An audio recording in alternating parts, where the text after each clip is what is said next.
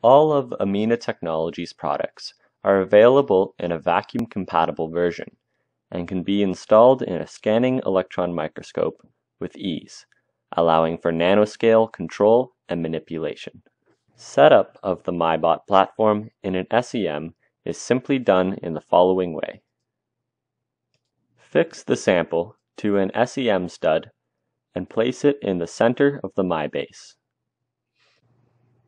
Connect the miBot to the miBase with a flex cable and position the miBot near the sample. It is possible to connect up to four miBots on the same platform.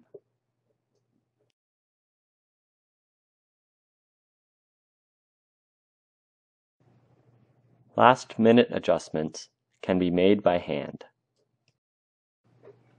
Set up the platform on the SEM stage and connect it to the flange feed-through cable.